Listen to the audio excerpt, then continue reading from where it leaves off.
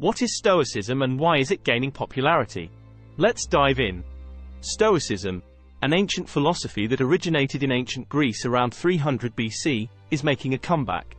It offers practical tools for resilience and finding peace amidst chaos. But why has it gained popularity in our fast-paced world?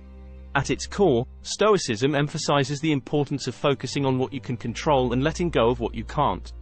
It teaches us to accept the inevitable and not get caught up in things beyond our power. By practicing this mindset, Stoics aim to achieve tranquility and find happiness from within. Historically, Stoicism has been practiced by notable figures like Epictetus, Seneca, and the Roman Emperor Marcus Aurelius. Their writings, such as Meditations by Marcus Aurelius, have provided invaluable insights into the philosophy and its practical applications. In our modern age, Stoicism appeals by providing tools to navigate stress and distractions. It offers a path to simplicity, meaning, and personal growth.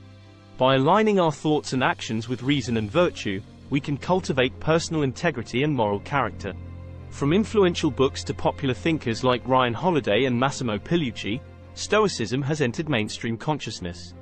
Entrepreneurs, athletes, and seekers of wisdom find inspiration in its timeless philosophy. So, what's the answer to our question?